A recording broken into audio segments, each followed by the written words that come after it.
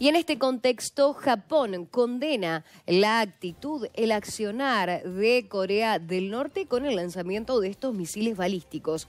Y también no deja de prestar atención en las palabras de Kim Jong-un, que ha prometido más armamento nuclear.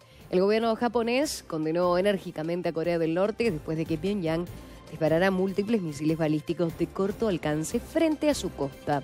En una conferencia de prensa habitual, el secretario jefe del gabinete japonés, Yoshimasa Hayashi, dijo que al menos dos misiles balísticos de Corea del Norte volaron más de 350 kilómetros a una altitud de unos 100 kilómetros. Los misiles aparentemente cayeron fuera de la zona económica exclusiva de Japón y no hubo informes de daños. Es el primer lanzamiento de este tipo por parte de Corea del Norte en más de dos meses. Corea del Norte disparó un misil por primera vez, por última vez, el primero de julio, cuando afirmó haber probado con éxito un nuevo misil balístico táctico capaz de transportar una ojiva súper grande de 4.5 toneladas.